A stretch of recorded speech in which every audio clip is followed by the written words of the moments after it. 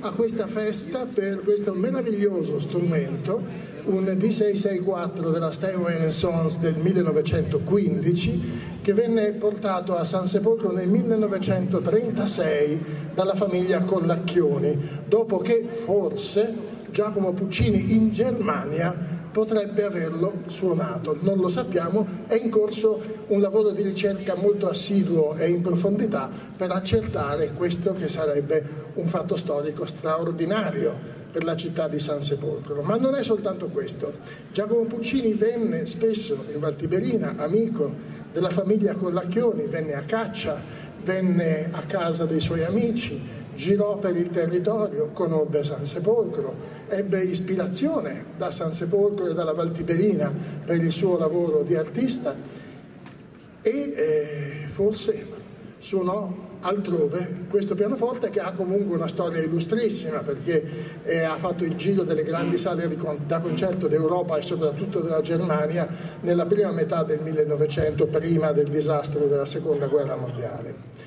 Bene, questa serata è composta dallo sforzo collettivo di tante forze diverse che adesso io vi riassumerò brevemente ma doverosamente perché eh, non, è, non è facile, è abbastanza raro che tante realtà associative e non, economiche e non, amministrative e non, o forze semplici dei cittadini di San Sepolcro decidano di mettersi insieme per restituire alla loro città un capolavoro della tecnica musicale, come questo che sentirete suonare stasera, e eh, un pezzo di storia importantissimo della cultura italiana e internazionale. Pensate che uno dei più grandi pianisti della storia, due dei più grandi pianisti della storia, Arturo Benedetti Michelangeli e il russo Sviatoslav Richter, suonarono questo pianoforte. Un pianoforte che è stato suonato da miliardi di giovani musicisti, di studenti, di grandi concertisti,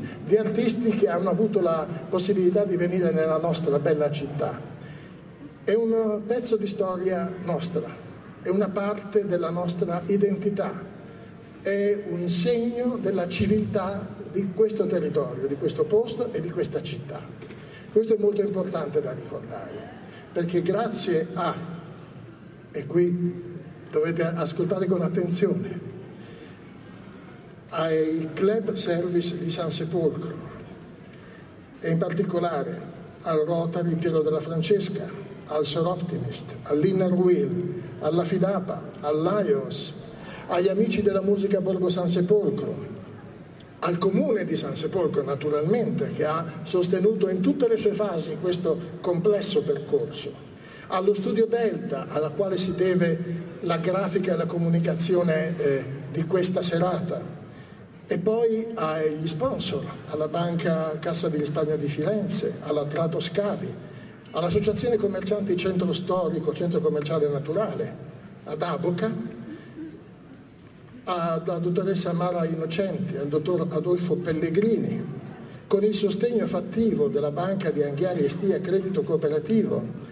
con la perizia artistica di Anna Maria Veccia, la pittrice che ha realizzato la copertina del programma di sala. A proposito, per chi vuole, per gli appassionati, al tavolo c'è la possibilità di acquistare una cartolina numerata firmata dall'artista che riproduce questa immagine con il timbro di questa serata. Quindi per chi vuole avere un ricordo di questa serata anche eh, artistico dal punto di vista visivo c'è questa possibilità al tavolo laggiù in fondo alla platea. Bene, queste persone, questi enti, queste aziende, questi club, questi cittadini hanno realizzato un'operazione che eh, senza il loro contributo fortissimo non sarebbe assolutamente stata possibile. Un'operazione che ha portato stamani alla realizzazione di un importante convegno con molti inediti. E un filmato eccezionale che se reperiamo poi cercheremo anche di far recapitare alla televisione locale e, e con esperti, con la Fondazione Puccini di Lucca che è venuta stamani a San Sepolcro con una mostra che è eh, esposta a Palazzo Pretorio ancora per qualche giorno e che propone una serie di cimeli interessantissimi sul rapporto fra Puccini e la Valtiberina e poi con l'entusiasmo di alcune persone Maurizio Checcaglini, Andrea Sari, Alessandro Goretti e tanti altri, impossibile fare i nomi di tutti, ma questi in particolare sono particolarmente eh, legati a questa operazione che hanno seguito con entusiasmo, con la necessaria fatica, perché è un lavoro vero e proprio di volontariato, ma sempre lavoro è fare questo, eh, proporre questo percorso, questa serata stessa, questo restauro che è stato importantissimo perché Stefano Bonecchi che è qua in sala, il restauratore, ci ha detto prima che cominciasse la serata il valore di questo importantissimo strumento e l'accuratezza del lavoro di restauro e di ripristino che è stata necessaria. Bene, tutto questo concorre insieme a realizzare un ritorno, il ritorno di questo pianoforte del quale adesso prego di parlare nei saluti l'assessore alla cultura del comune di San Sepolcro, Gabriele Margoncini. Prego.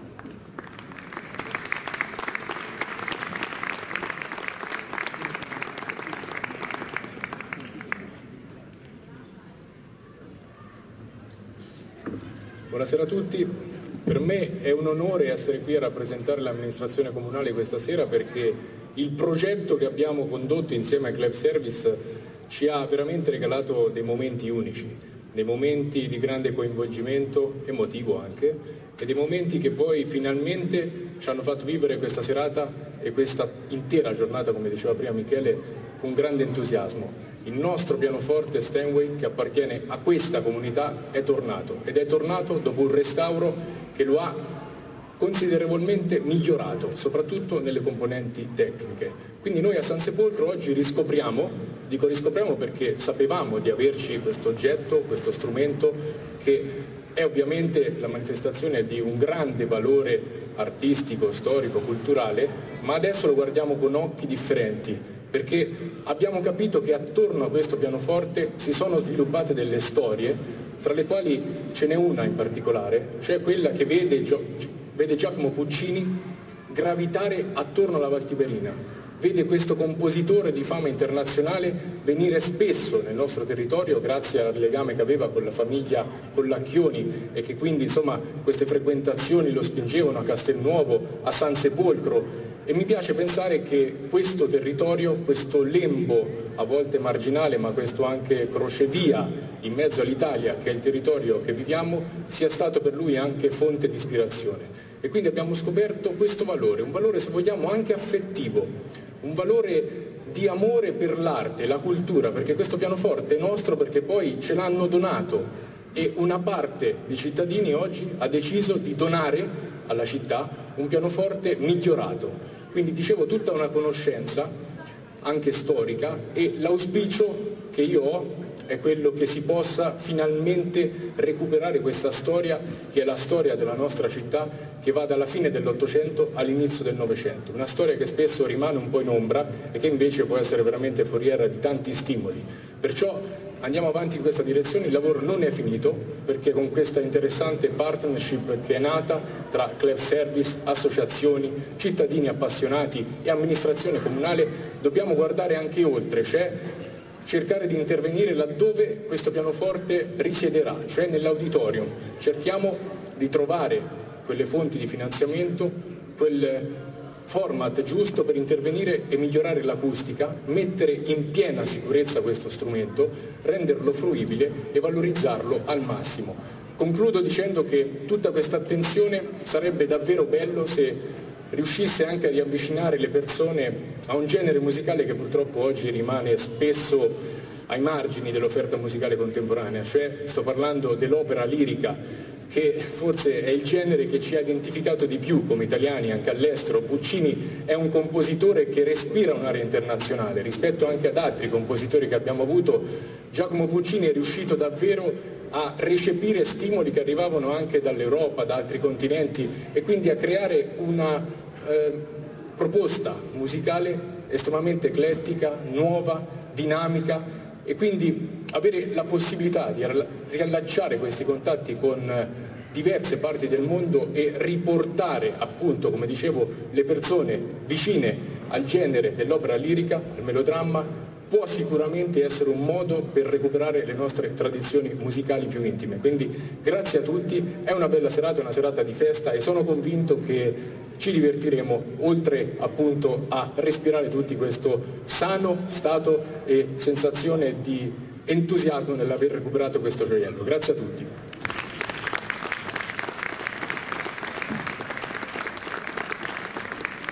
Grazie all'assessore alla cultura Gabriele Marconcini. Come si svolge questa serata? È divisa sostanzialmente in due parti. Nella prima parte ascolteremo il suono di questo magico strumento grazie a un eccezionale pianista che è Andrea Cantù che suonerà alcuni brani che fra poco vi dirò. Nella seconda parte si alternerà alla tastiera il pianista Niccolò Naldoianni per accompagnare quattro cantanti lirici molto conosciuti. Chiara Chialli mezzosoprano, Stella Peruzzi soprano, Andrea Sari baritono, David Soggiu tenore. Nella seconda parte, naturalmente, le romanze, le arie da camera, le, i brani d'opera saranno tutti firmati da Giacomo Puccini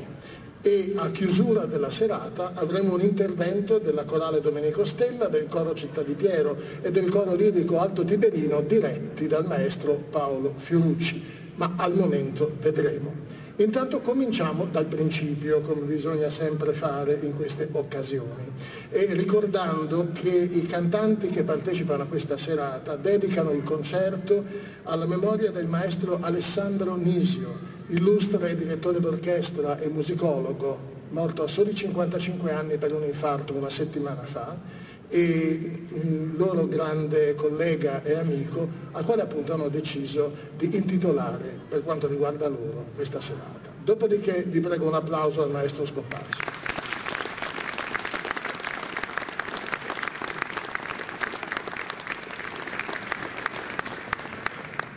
Dopodiché abbiamo una giovane stella del pianismo italiano e internazionale, è Andrea Cantù, ha 25 anni e il grandissimo pianista Aldo Ciccolini ebbe a scrivere di lui.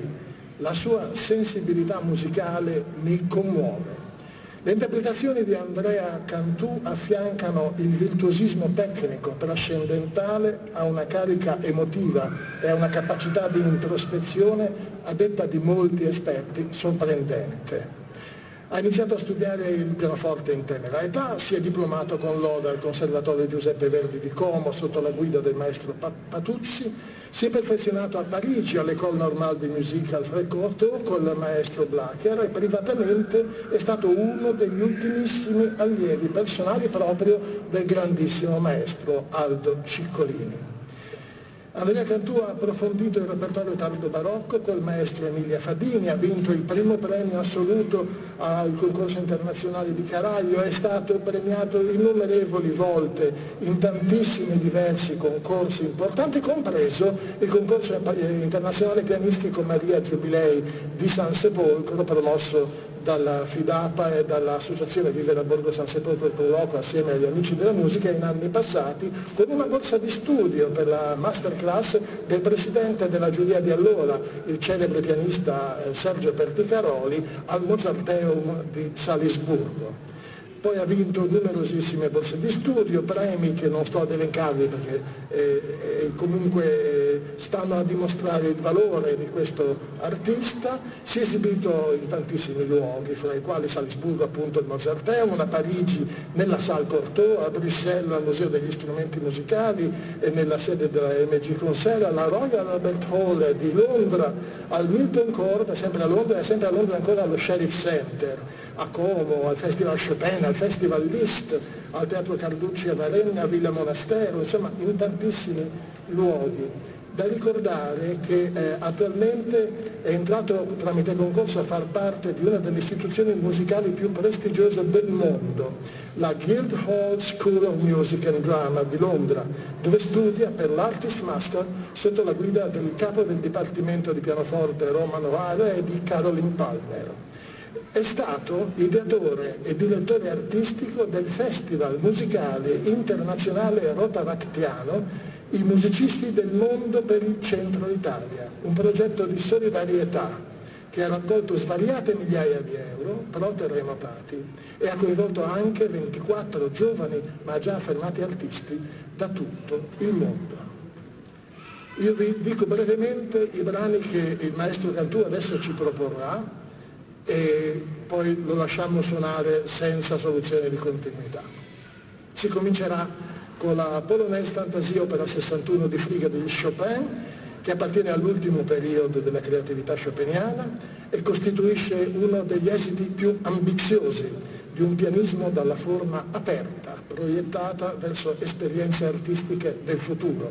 Il grande genio di Chopin qui si esprime ai massimi livelli. Seguirà il grande passaggio fra l'Ottocento e il Novecento con il nome di Claude Debussy, un musicista francese che visse molto a lungo in Italia, con Image Oubliée, un'opera giovanile poco nota, pubblicata solo dopo la morte di Debussy. Un'interessante testimonianza della ricerca espressiva che il compositore porterà a termine a compimento con le opere successive nella maturità. Andando avanti avremo la sonata opera 120 D664 di Franz Schubert, eh, inciso non era D664 il pianoforte, il pianoforte ha un'altra sigla che adesso vi dico per esattezza di informazione e che è la D274, che è la sigla di quella serie di pochissimi pianoforti che nel 1915 la Steinway Sons realizzò. Questa sonata di Schubert che dicevo, l'opera 120 pubblicata postuma, è breve, 133 battute nel primo tempo, invece delle circa 200 che per Schubert costituivano la misura ordinaria, una sonata snella, intima, tenera, che realizza l'immagine della più tradizionale Vienna di questo grandissimo e sfortunato autore. E poi Puccini. Puccini con il piccolo valzer, il pianoforte in Mi maggiore, composto all'inizio di settembre del 1894, destinato alla cerimonia di consegna della bandiera di combattimento per la nave da guerra Re Umberto che ebbe luogo a Sestri Ponente quello stesso mese. Puccini ebbe l'idea un giorno che era a caccia nel suo amato lago di Massachusetts, nella barca dolcemente cullata dalle onde. Nel frattempo stava lavorando alla Bohème e intenzionato ad adattare il motivo di questo piccolo valzer al valzer di Musetta nel secondo quadro di Bohème, inviò come traccia al librettista Giuseppe Giacosa un buffo verso che fa così, cocoricò, cocoricò, bistecca, e il ritmo sono le battute e il tempo che voleva dare, eh, cinque quarti credo, io non sono un musicologo, però posso sbagliare, non, non, ve la do come la so, non, non la prendete per, per oracolato, dal cui ritmo nacque appunto l'incipit di Quando me vo, quando me vo, soletta. Quindi sentite la, il ritmo già nel verso è lo stesso. In chiusura eh,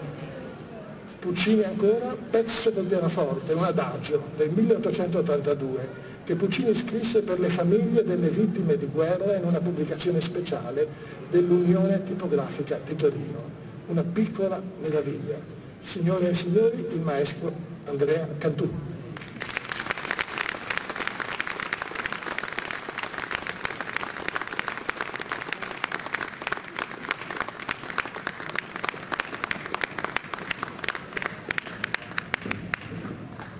Il maestro Cantù dedica il suo concerto alla nostra amica Paola Baschetti Galardi.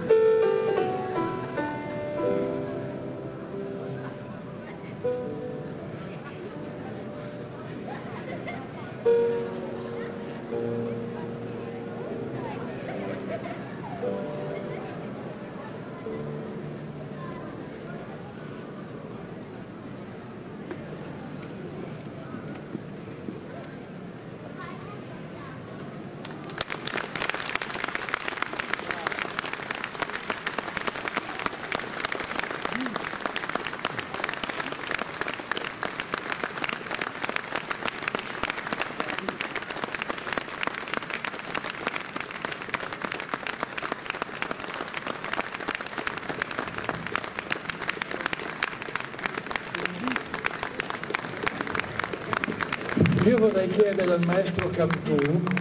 cosa pensa di questo pianoforte una volta restaurato. Devo riprendere un po' fiato però prima, eh? sì. Il... Siamo tutti umani, eh?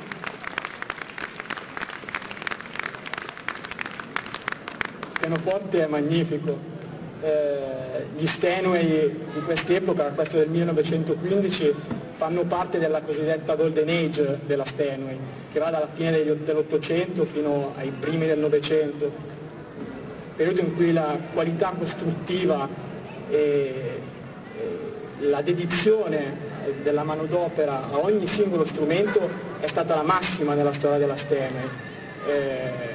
io stesso ho lo stesso, ho lo stesso pianoforte, lo stesso modello e sono due gemelli perché non ce ne sono altri al mondo. Quindi questo a testimoniare la qualità di questi pianoforti che poi vengono anche apprezzati dai pianisti, ove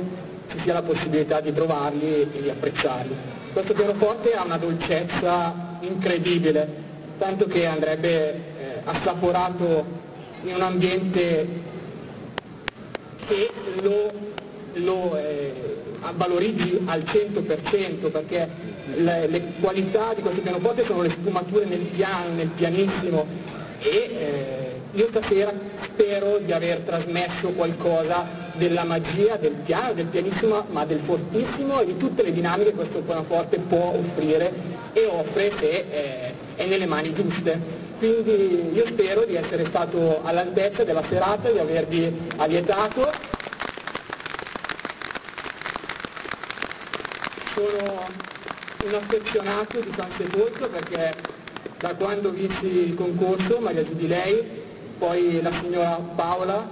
mi richiamò a suonare l'anno dopo e un anno dopo ancora. Questa è la quarta volta che vengo a San Sepolcro e una parte del mio cuore, non per, eh, per essere lecchino, ma sicuramente in verità dico che questa una parte del mio cuore è anche a San Sepolcro, quindi è un'emozione maggiore suonare qui. Torno da Londra eh, apposta con il cuore qui. Quindi grazie a tutti voi del vostro ascolto e del vostro ascolto e della vostra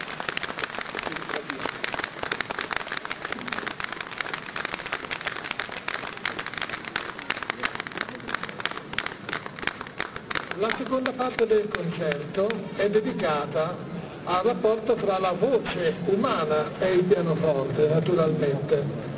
E lo facciamo con alcuni celeberrimi brani d'opera e alcune preziose arie abbastanza sconosciute, tutte però di Giacomo Puccini. Allora entriamo nel vivo subito,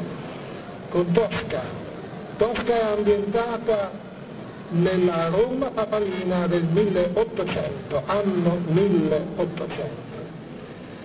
È la contrastata, tragica storia d'amore fra Tosca e Mario Cavaradossi, lei è una grande cantante, lui è un, un giovane pittore, ma è, è anche un patriota napoleonico contro il regime oppressivo della Roma di quell'epoca. In mezzo a loro si infila Scarpia, Scarpia è il capo della polizia papalina, torturerà Mario Cavaradossi per estorcergli il luogo dove si trova un evaso amico suo e cercherà di eh, sedurre eh, forzatamente Tosca che invece lo ucciderà. La storia è complicata, non ve la sto raccontare tutta, subito allora, chiamando eh, Andrea Fari baritono e Nicolò Nardoianni pianista, sbirri, una carrozza e il monologo conclusivo del primo atto di Tosca del barone Scarpia, la voce è quella del barito, Andrea Sari lo conoscete, a loro il palcoscenico.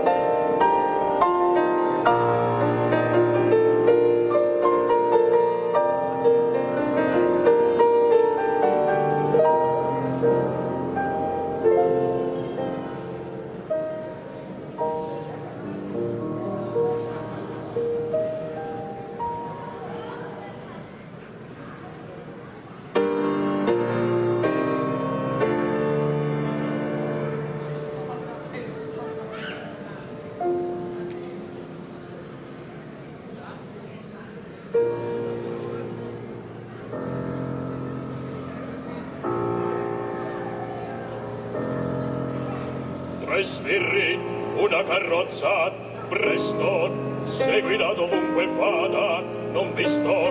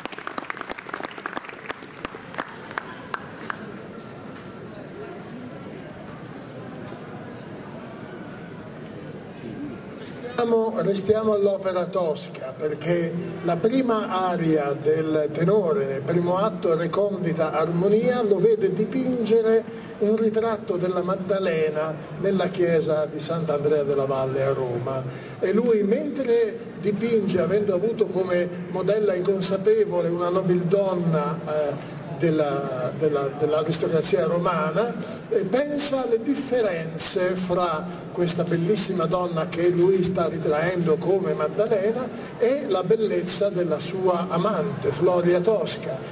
Bellezze diverse, recondita armonia di bellezze diverse. E questo è eh, l'incipit, l'ingresso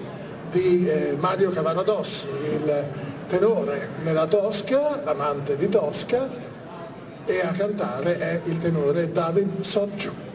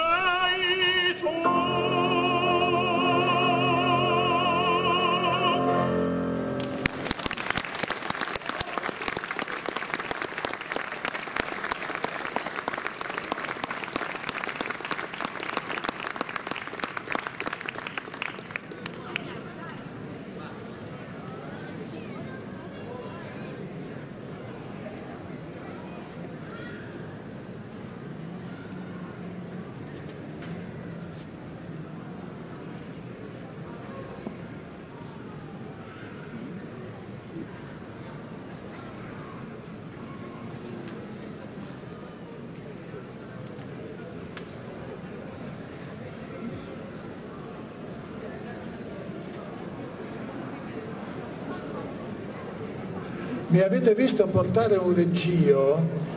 perché adesso il mezzosoprano Chiara Chialli ci proporrà due assolute preziosità, praticamente inedite o comunque assolutamente sconosciute, di Puccini autentiche. Sono due arie da camera, due romanze per voce e pianoforte. La prima è L'Uccellino è una romanza su testo del celebre scrittore umoristico e poeta toscano Renato Fucini. È una deliziosa ninna nanna. La seconda invece è un Salve Regina. Si tratta di un largo religioso accompagnato da armonio, ma in questo caso da pianoforte, che fu scritto da Puccini durante gli anni di studio milanesi. Appartiene a un gruppo di composizioni che mettono in musica versi dalle melodie per canto firmate da quello che, che era già stato il librettista della Ida di Verdi, Antonio Ghislanzoni. Il Salve Regina era conservato all'Istituto Boccherini di Lucca. Poi la musica del Salve Regina verrà riutilizzata da Giacomo Puccini nel finale della prima parte della sua opera giovanile Le Villi, Ascoltate con attenzione, sono due brani che difficilissimamente si ascoltano in una sala da concerto. Naturalmente sono affidate al grande talento del mezzosoprano Chiara Chialle.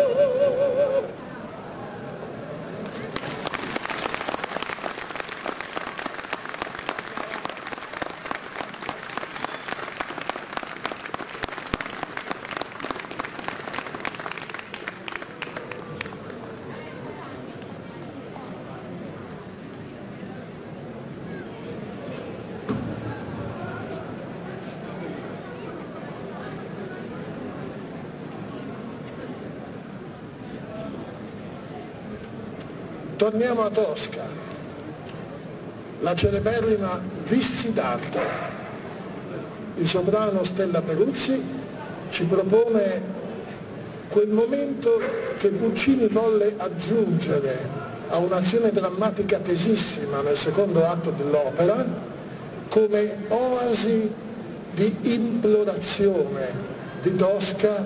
mentre Scarpia incombe su di lei torturando il suo amante e volendola portare a una violenza sessuale annunciata e chiede a Dio perché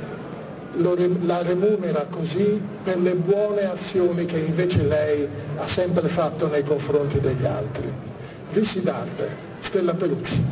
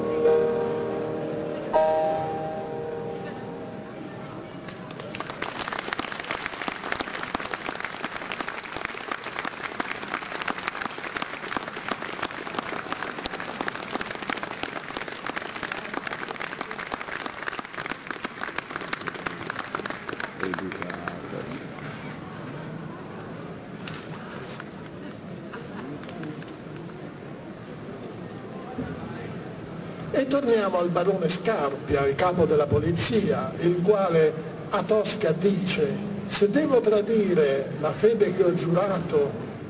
nell'iniziare il mio lavoro, sporco lavoro di capo della polizia del Vaticano,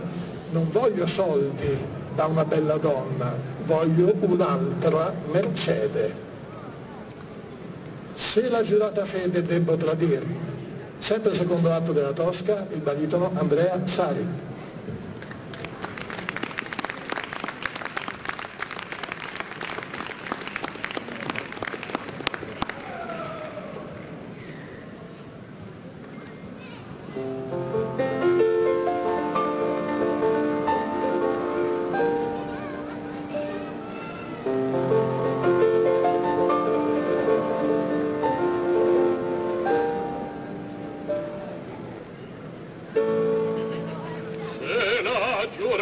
Giurata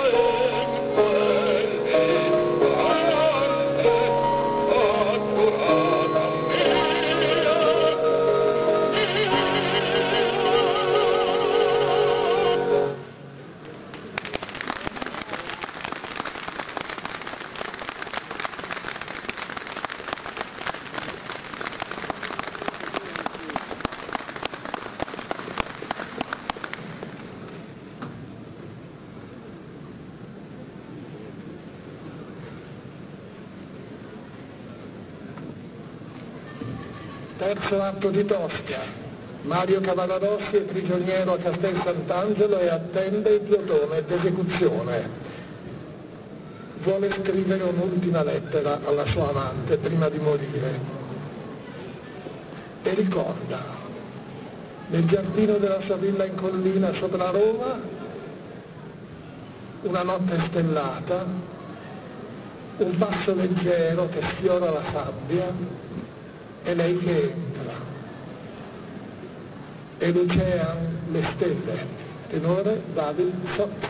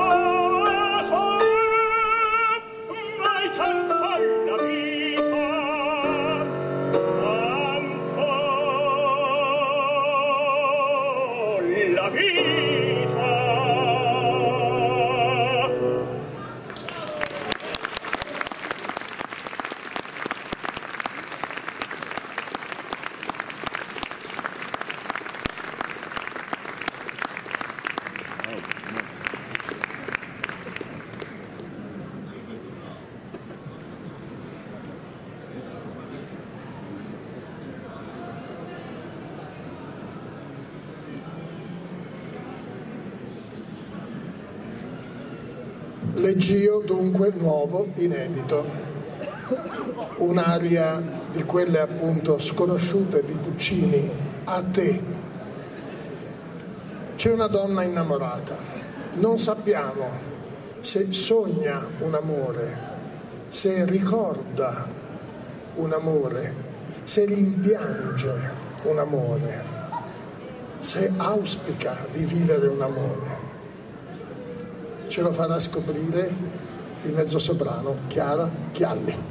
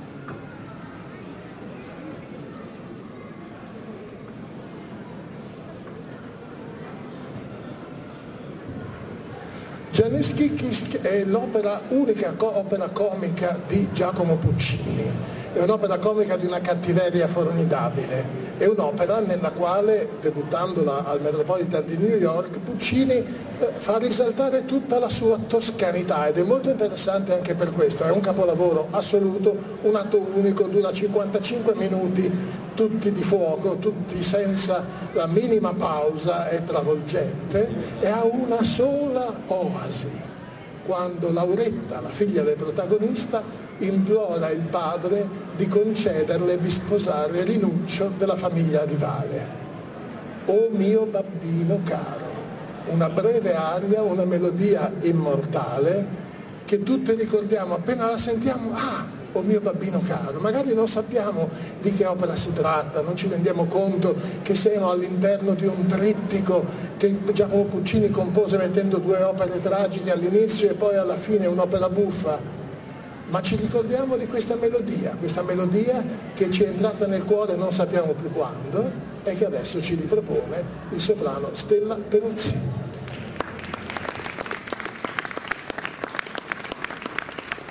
dimenticavo, silenzioso ma presente, c'è anche Gianni Schicchi.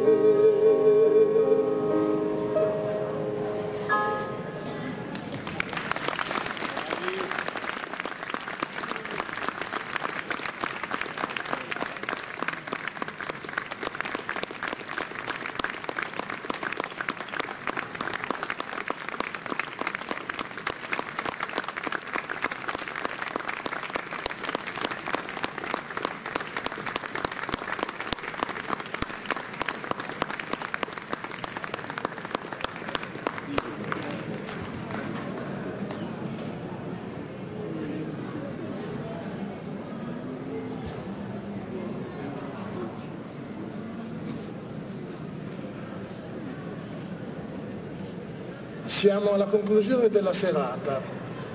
Passiamo a un altro capolavoro di Giacomo Puccini, Madama Butterfly. Questa volta è un coro ed è il coro formato dalla Corale Domenico Stella, il coro Città di Piero e il coro Alto Tiberino, diretti dal maestro Paolo Fiorucci, al pianoforte il maestro Lorenzo Tosi, impegnati in un brano stupendo il coro a bocca chiusa della Madama Butterfly. È il momento in cui Butterfly e la sua ancella Suzuki, guardando il porto di Nagasaki in attesa che il marito americano di eh, Butterfly torni con la nave, si addormentano e lei ha tra le braccia il bambino di Pinkerton, l'uomo che ha sposato con un rito giapponese che poi l'ha abbandonata. È una tragedia spaventosa, è un'opera stupenda e questo coro è il commento a questa situazione di attesa notturna. Allora io prego di salire sul palcoscenico cor- la corale Domenico Stella, il coro Città di Piero, il coro Alto Tiberino, il maestro Paolo Fiorucci, il maestro Lorenzo Tosi e assieme a loro i solisti di canto, il mezzosoprano Chiara Chialli, il soprano Stella Peruzzi, il baritono Andrea Sari, il tenore David Socciu che si uniscono al coro a bocca chiusa di Madama Butterfly. Poi per i saluti finali chiederò anche al maestro Alberto Cantù di unirsi a noi eh, Andrea, mi scusi, Cantù, di, di unirsi a noi per un saluto collettivo. E intanto, eh, mentre il coro si accomoda e si prepara per questo brano conclusivo, io vi saluto, vi ricordo che comincia adesso il lavoro su questo pianoforte, perché da ora in avanti c'è da avviare una ricerca sul possibile rapporto fra questo pianoforte e Giacomo Puccini, che è fondamentale da sapere come sapessa si avvia anche un lavoro per il ripristino di una acustica degna di questo nome nell'auditorium di Santa Chiara che ospiterà da qui in avanti il pianoforte di Steinway Sons del 1915 e c'è da restituire alla fruizione pubblica lo stesso pianoforte. Noi speriamo che questa serata sia stata uno stimolo per tutti, per avvicinarci al meraviglioso mondo della musica e riscoprire in, nel meraviglioso mondo della musica che c'è anche tanta, tantissima San Sepolcro. Buona serata.